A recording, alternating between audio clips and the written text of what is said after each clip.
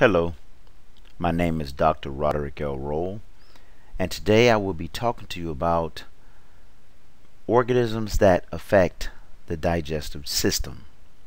More importantly, we're going to utilize several biochemical tests to identify etiology.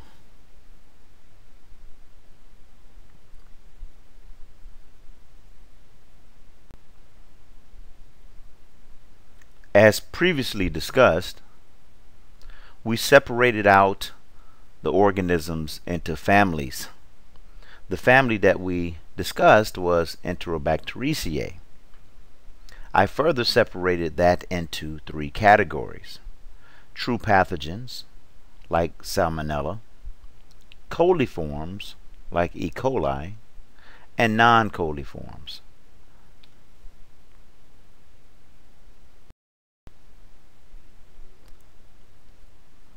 How to diagnose this family called Enterobacteriaceae. It is through selective media and differential media.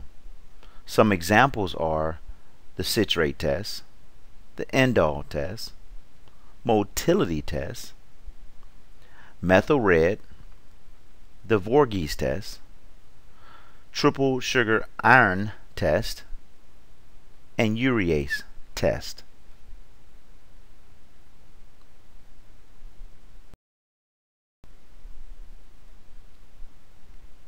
In this slide, what we are looking at is a selective test. This selective test is MSA or better known as mannitol salt agar. This test will allow halophiles to grow. A, halophile is a salt tolerant microbe. So if you cannot grow in the presence of salt, then you were selected out from growing on a selective test. To the far right of this image, you see Staphylococcus aureus. It grew on MSA agar plates. In the middle, Staphylococcus epidermidis, it also grew on MSA plates. The one on the far left, Staphylococcus aureus, also produced uh, a lot of hydrogen atoms which increased the acidity or lowered the pH. In the mannitol salt agar, we have phenol red, a pH indicator as the pH decreases, the color of the media changes to yellow. So this test selects for Staphylococcus and it will inhibit organisms that are not Staphylococcus.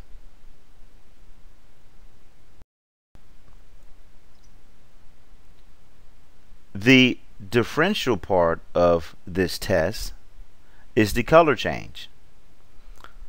So Staphylococcus aureus versus Staphylococcus epidermidis is differentiated because of the color change. So this is the differential portion of the test.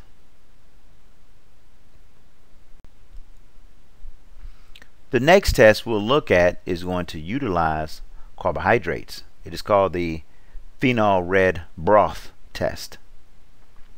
So carbohydrates can be used in this test. A process called fermentation will also be used where we will starve the microbe of its needed oxygen. And when we starve it of oxygen, it is going to utilize the carbohydrate to generate NAD, which will be utilized back in step 6 of glycolysis. So the function of fermentation is not to generate the ethanol or the lactic acid or the acetone. The purpose of fermentation is to generate NAD. Once NAD is generated, it will be used in step 6 of glycolysis. So we utilize this carbohydrate fermentation test to differentiate between different bacterial groups, especially in the family of Enterobacteriaceae. So here is our family of organisms that we are discussing. We're going to be able to differentiate between organisms like Escherichia coli and Shigella, or Salmonella and Enterobacter.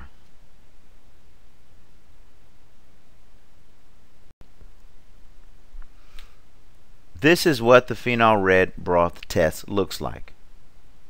It will be a series of test tubes with a smaller tube that will be inverted inside. The smaller tube is referred to as a Durham tube. So we will utilize the phenol red, which is a pH indicator, and we will also utilize a sugar, a carbohydrate.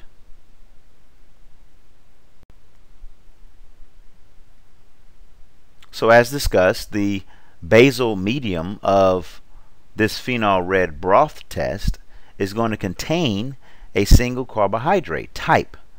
This carbohydrate can be glucose, it can be a disaccharide like lactose or a disaccharide like sucrose.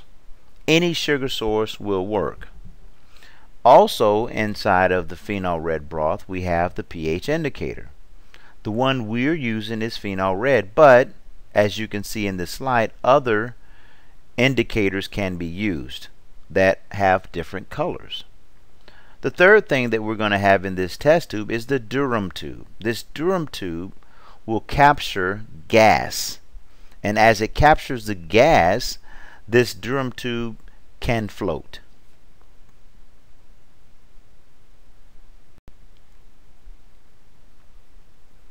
The fermentation is going to generate excess hydrogen. In the biochemical pathway image below, you can see this production of hydrogen. I have a red star which highlights the hydrogen that will be produced. This hydrogen is going to drive down the pH. As the pH drives down away from neutral, the color of the phenol red is going to shift to yellow.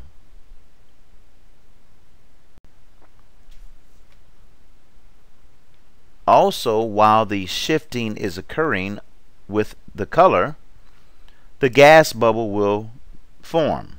The gas that will be in the Durham tube is carbon dioxide. Look at the biochemical pathway image below and you can see that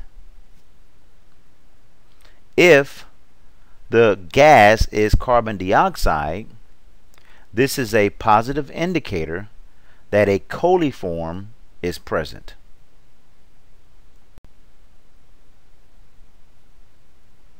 If we utilize a monosaccharide as the carbohydrate sugar, it will only indicate that we have a member of the Enterobacteriaceae family.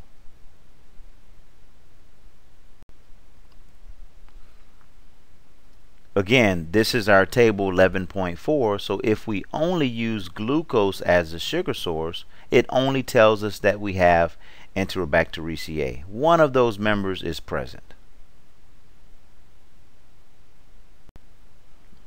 But if we change the sugar source to a more complex sugar like a disaccharide, we can differentiate even further within the family Enterobacteriaceae.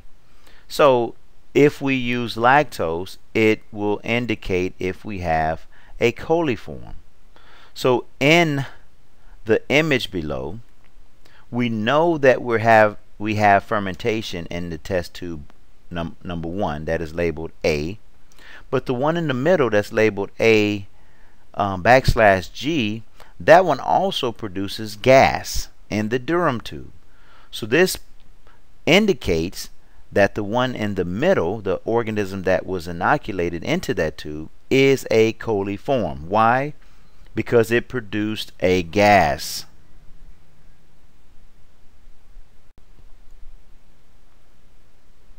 In this Venn diagram, we have the smaller green circle is all of the organisms that would fall under Enterobacteriaceae. That is the family. We have Shigella, we have Yersinia, and Salmonella. Within that bigger circle, we have a smaller circle which indicates the total coliforms. These are all of the organisms that produce gas within 48 hours. Then we have a smaller circle within the total coliform circle. That smaller circle has organisms such as Escherichia coli. The difference in those two circles is the temperature at which lactose will produce the gas.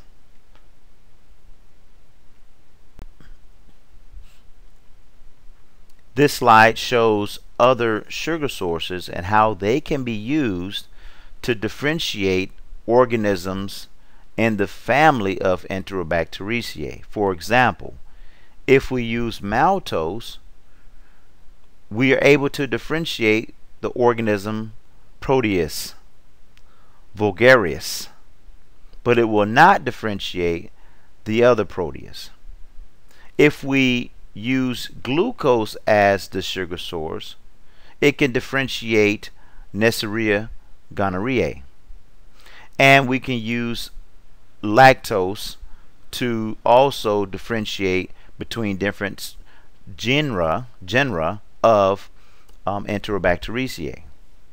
So by just changing the sugar source, we're able to uh, we're able to determine etiology.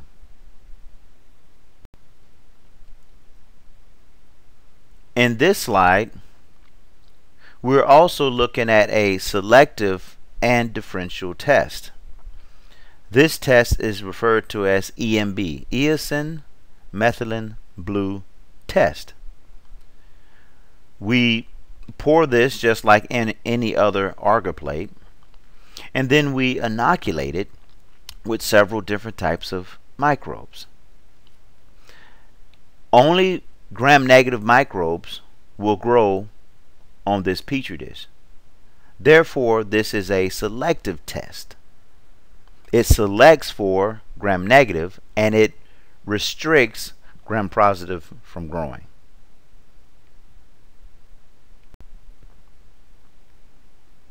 In reference to the microbes that grow, we're looking for the presence of a clear colony or a colored colony. So based on that distinction, it will separate out the coliforms from the non-lactose fermenting enteric bacteria. So the ones that produce the, the colonies that are formed that have color will be lactose fermenting enteric bacilli. And the ones that grow that have a clear colony are non-lactose fermenting enteric bacilli.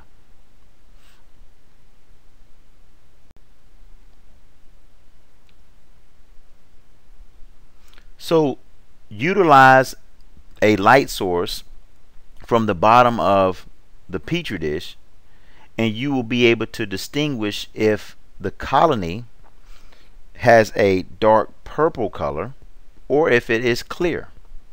So if it has a dark purple mucoid type color, this is indicative of this microbe fermenting lactose within 24 hours and producing gas.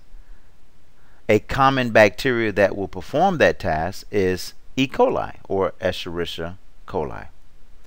E. coli will also produce a green metallic sheen in this EMB agar plate.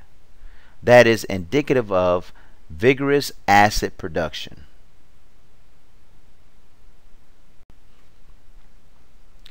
The non-lactose producing fermenters will still grow on this EMB plate, but they will only produce a translucent color on their colony.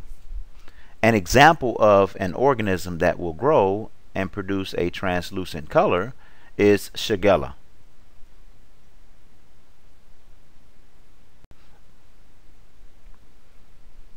A different test that we can perform that gives very similar results is the MacConkey agar test. It is also selective and differential. It will select for gram negative to grow and restrict from gram positive from growing.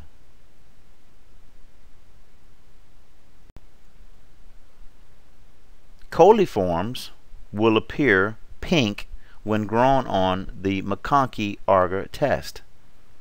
Non-fermenting lactose organisms will be clear or non-pink.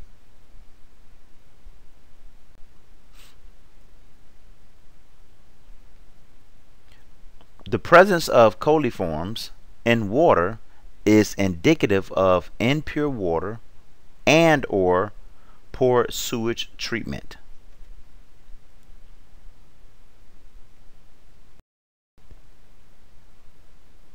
The next selective and differential test that we will discuss is the Simmons citrate agar test. This differentiates between soil growing coliforms and fecal coliforms. An example of a soil coliform is Enterobacter aerogenes. An example of a fecal coliform is Escherichia coli. So back to our Venn diagram, now we're able to distinguish between the brown circle, which is totally, total coliforms, and the red circle, which is just the fecal coliforms.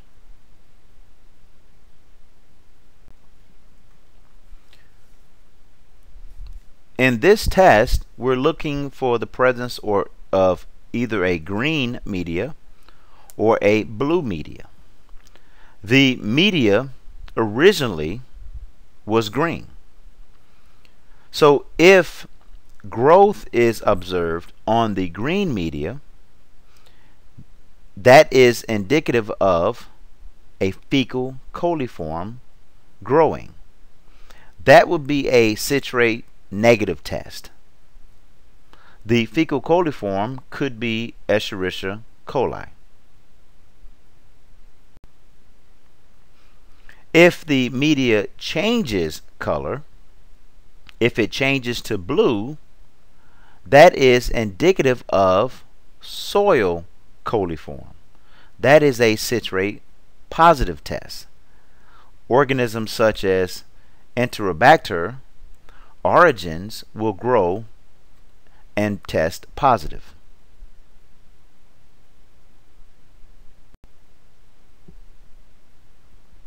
In this slide, we see the chemical reactions of what happens in the citrate test. If the medium stays green, that is negative. But make sure you see growth. So green can indicate that the test tube was uninoculated or or it could represent that the organism just did not utilize this citrate test. So make sure you have growth before you say it's negative. If blue is the color that you observe, then the pH has shifted towards alkalinity. This would be a positive indicator for the citrate test. In this slide, I have listed several organisms that would test positive for the citrate test versus several organisms that would test negative. The ones that are highlighted in blue are the only ones you need to focus on.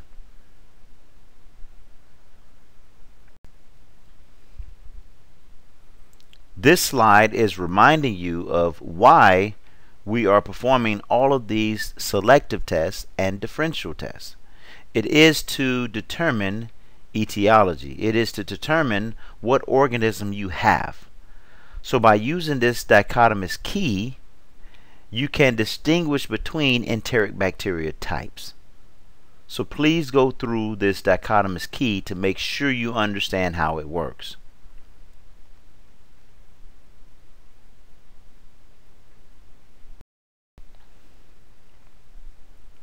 In this slide, we will look at an additional selective and differential test. This is called the SIM test. It is an all-in-one test for sulfide, indole, and motility. Let's separate each one of these out.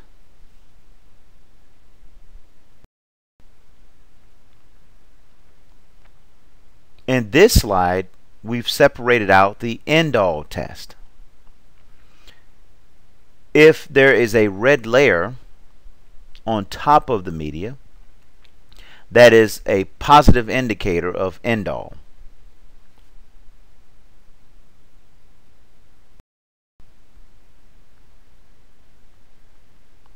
A black color is indicative of hydrogen sulfide gas production.